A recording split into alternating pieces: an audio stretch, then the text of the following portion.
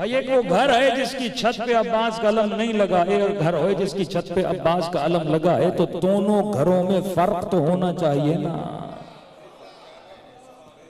अगर दोनों घर एक जैसे हों तो फिर इस अलम का फ़ायदा क्या है? ये अलम सिंबल है किस चीज़ का? हज़रत अब्बास का। अब्बास का ही अलम क्यों? भाई तो और भी थे। अलमदार गाजी क्यों बने?